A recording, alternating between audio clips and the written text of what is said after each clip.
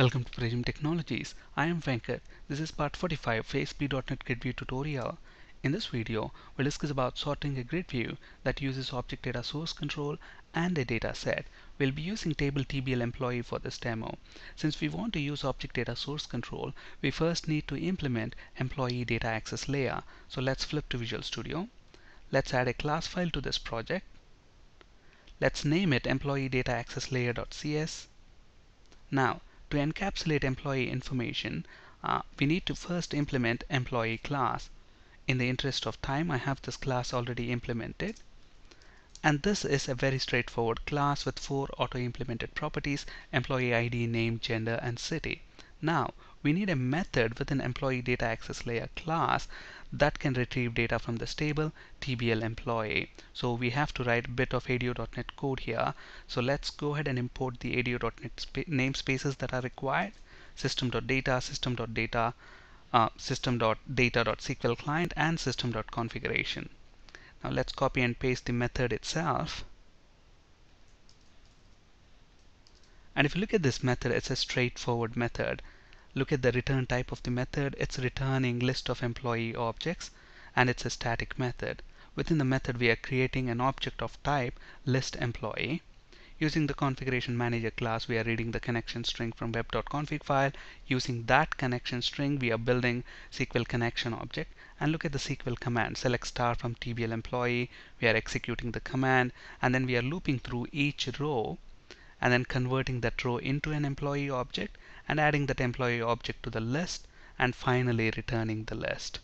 Alright, now let's build the project so that this employee data access layer is compiled. Now let's you know flip to webform1.aspx. Let's drag and drop a grid view control. Let's auto format this. Let's choose brown sugar scheme. Now let's drag and drop object data source control.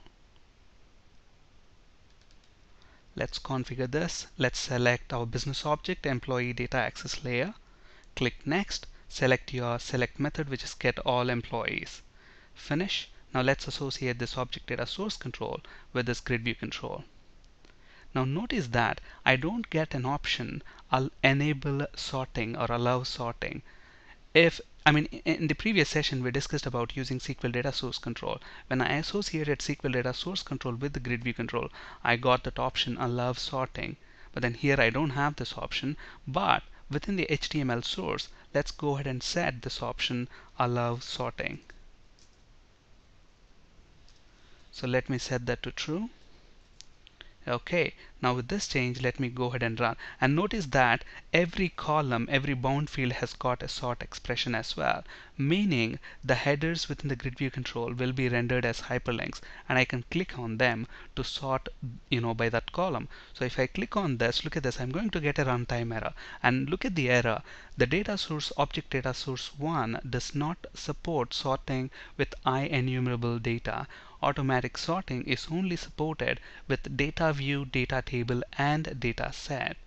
Okay, so if you look at our method, it's returning, you know, list of employee object. Okay, so for grid view sorting, automatic sorting to work with list of employee, there is there is a workaround. We'll talk about that in a bit, but today we'll solve this using data set.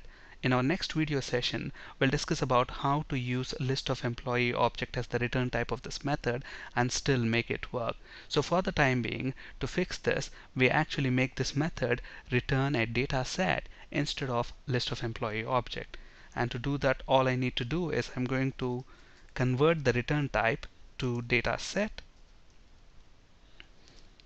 since I'm returning a data set I don't need that list of employee object and then I'm going to use SQL data adapter. Let's call the object as DA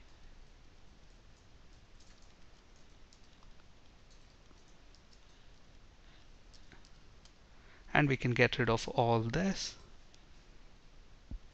Let's create a data set object. Data set ds is equal to new data set. And then fill the data set Finally, return the data set.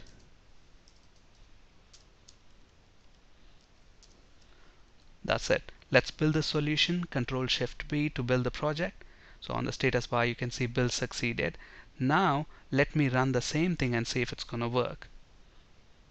So obviously when the web form loads you know the hyperlink the column should be rendered as hyperlinks. Look at that I click on that column once it gets sorted in ascending order first if I click on it again it gets sorted in descending order so automatic sorting is supported now. In our next video, we'll see how to make this sorting work in spite of the return type being, you know, a list of employee objects.